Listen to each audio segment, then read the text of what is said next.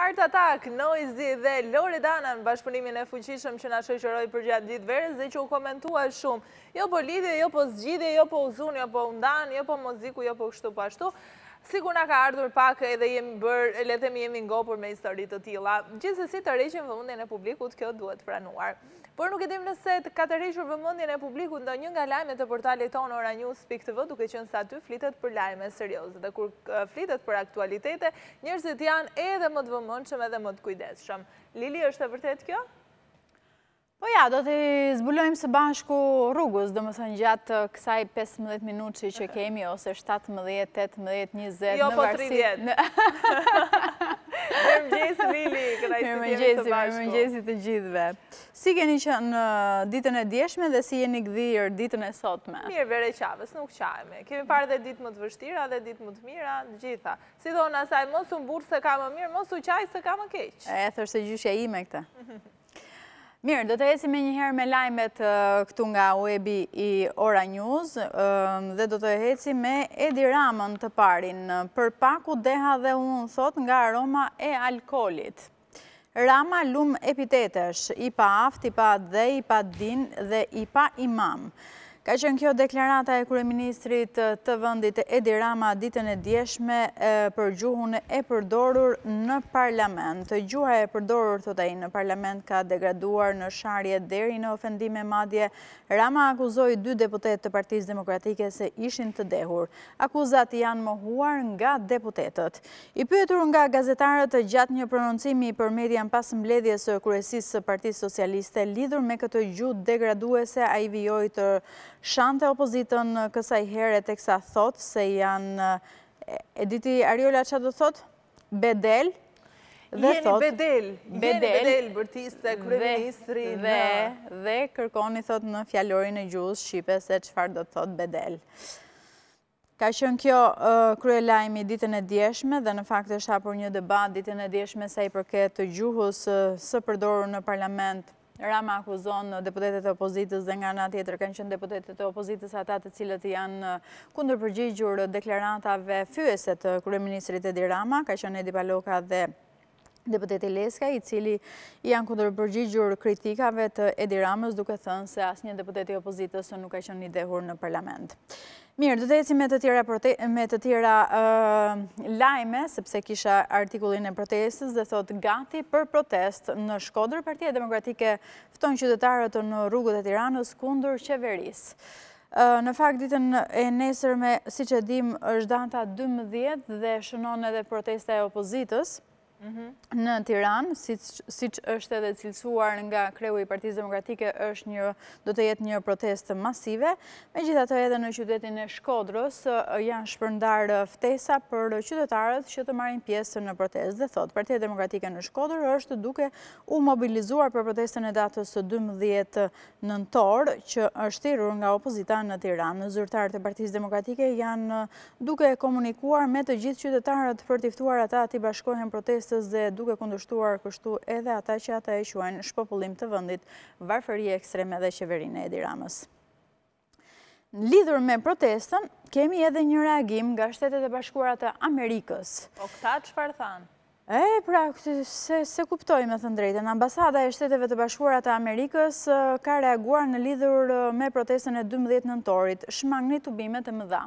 Nuk e di a i takon një ambasade të huaje, apo jo, por më duket e pavend ky reagim. Jo, po mendoja që s'është dhe kohë Covid-i. Mbi të gjitha. Edhe thotë artikulli, ashtu siç çdo protestë, ambasada e Shteteve të Bashkuara të Amerikës në Tiranë, ka këshilluar qytetarët e saj, a e ka me të vetët, që të shmangin, ka këshilluar qytetarët e saj, të kujt, të po, po, Amerikanë, të ruajtë. Pas ka bërë si thirje për Amerikanë. Pas ka bërë thirje për Amerikanët. Mendova se e kishte me këta tanët. Po pra.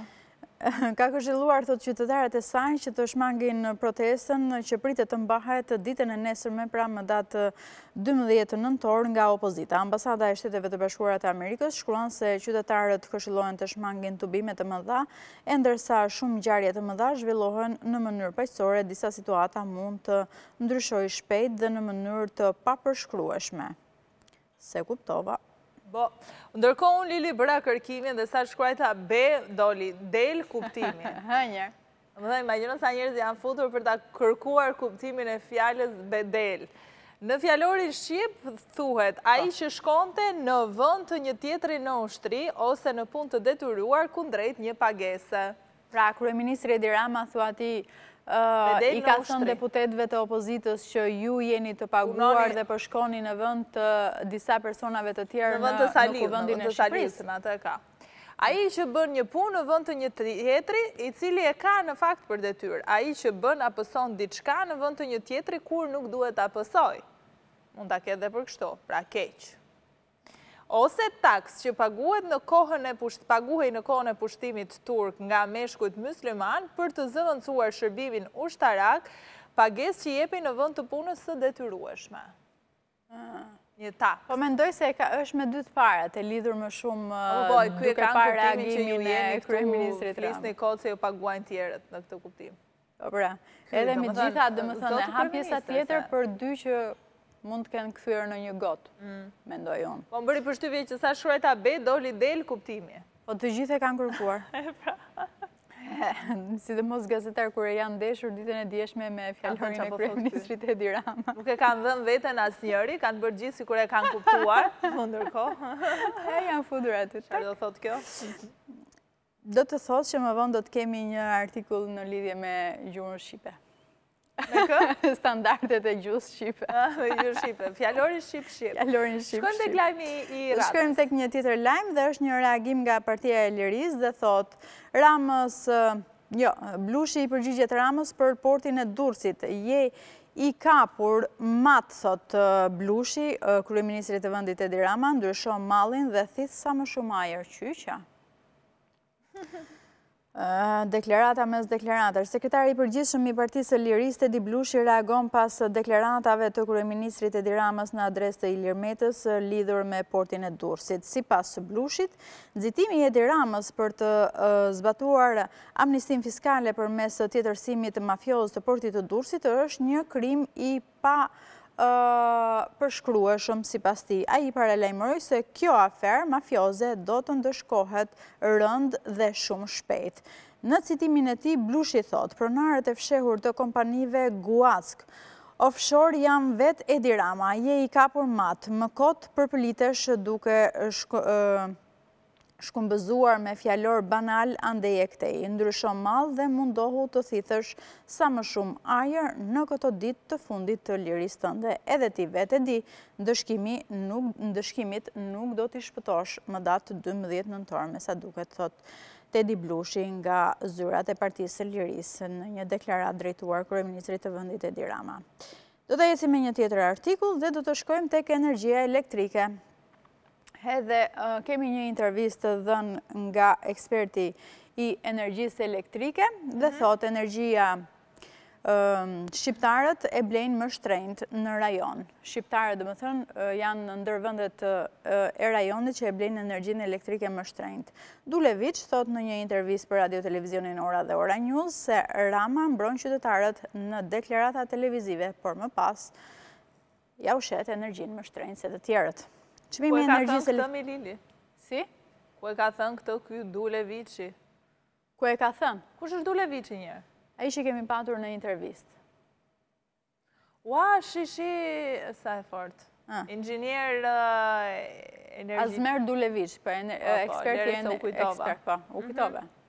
Edhe ka dhënë një intervistë ditën e djeshme për radio televizionin Ora dhe thotë, çmimi i energjisë elektrike në bursa ka pësuar rënie, por pavarësisht kësaj, ekspertët thonë se edhe pse Shqipria është vend prodhues që këtë e dimë, ajo ka çmimin më të shtrenjtë të energjisë krahasuar me vendet e tjera të rajonit.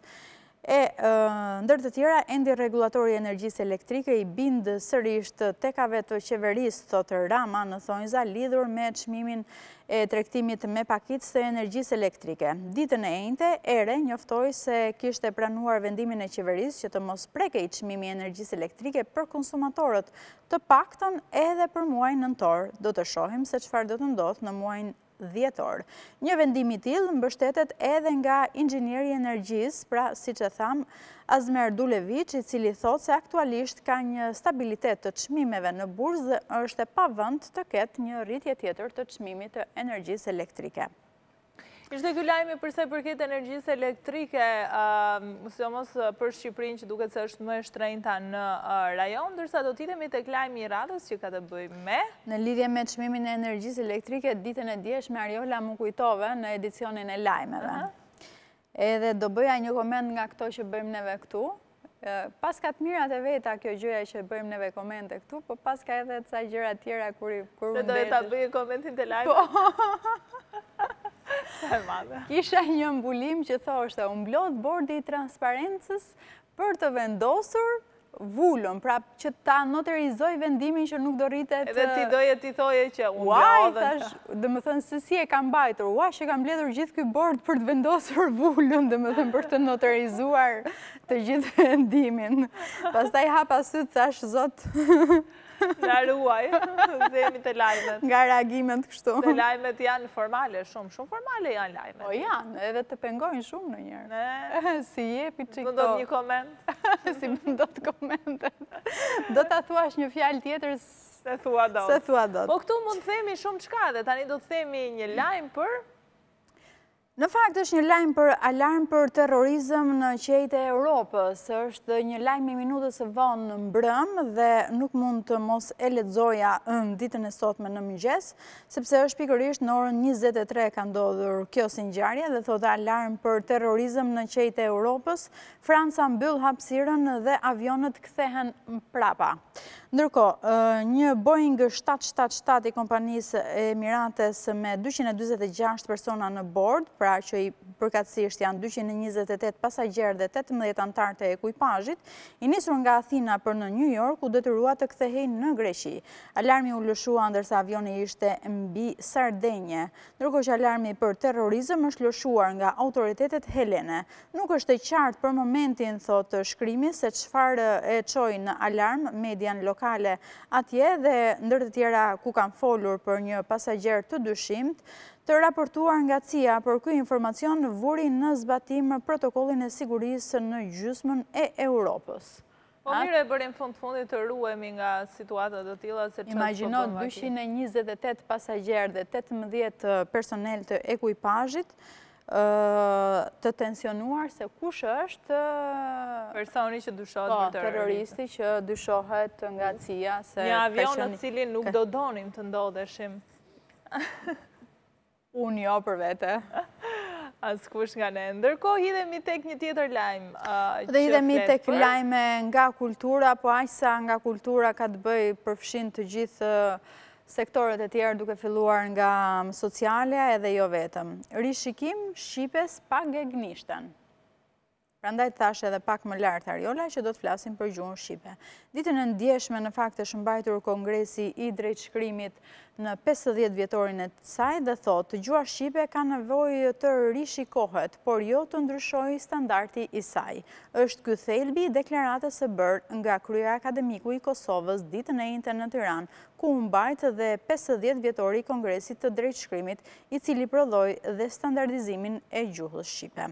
Akademikët e Kosovës dhe, në fakt, edhe nga Shqipëria janë të dyja të mendimit se standardja e vitit 1972 është gjithëpërfshirëse, por nuk janë kundër përfshirjes së fjalëve të huazuara.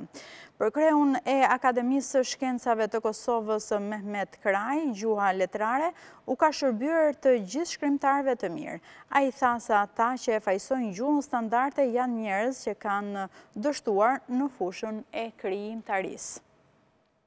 Si të duket... Po, nuk e di, s'di, a krijon ndasi, a krijon standarde, nuk di të ta them me siguri këtë gjë, gjithsesi, mirë është që të jemi të unifikuar të paktën se si mësohet gjuha shqipe tek fëmijët, pastaj se si flitet në shtëpitë tona e se çfarë lloj dialekti mbajmë, gegnishta, toskërishtja, Etj etj kjo mbetet pastaj në dorë të gjithsecilës familje. Po fëmijëve mendoj se duhet t'ua mësojmë njësoj gjuhën. Në këtë pesëdhjetë vjetor të Kongresit të Gjuhës Shqipe të Drejtshkrimit në fakt ka qenë edhe kryeministri Edi Rama, ku ka mbajtur fjalën e tij dhe gjatë fjalës së tij ka thënë që në krye të kësaj në këtij të këtij kongresi për rishikimin e gjuhës shqipe, do të jetë kush mendon ti, Ariola? Në krye të kongresit për gjuhën shqipe, kush do jetë? Mm. Grida Duma. Jo. Kush do jetë? Nga të shkoi mendja atje. Kush është? Nga të shkoi mendja te Grida Duma. Po. është në fokus të medias tani. Skënder Gjinushi. Skënder Gjinushi. Pa. Skënder Gjinushi në krye të këtij kongresi, të shohim se cilat do jenë hapat që do të ndërmarrë ai për të ecur përpara, ndërkohë që ne e mbyllim dhe me gjuhën shqipe dhe besoj jemi në fund edhe të lajmeve. Po e mbyllim, se kemi ca lajme kështu pikture gjëra, kështu po i lëmë për... I lëmë për një herë tjetër.